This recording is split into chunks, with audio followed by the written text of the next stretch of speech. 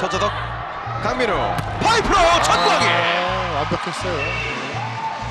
다시 힘을 내고 있는 전광인 이제 11득점째 자, 뭐 네 번째 세트에서 선수와 이제 전광인 선수가 활약을 많이 해주면서 예. 아, 분위기를 가져왔단 말이죠. 한 선수 back attack dig 됐고요. 그리고 강민욱이 올립니다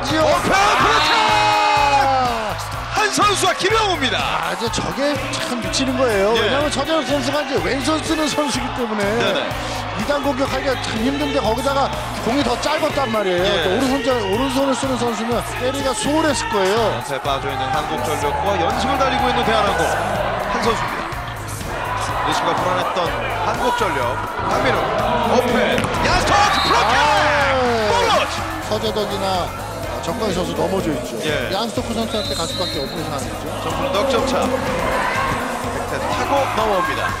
그리고 오픈 브로킹 좀처럼 뚫어주질 못하는 야스토크. 네. 속절없이 막힙니다.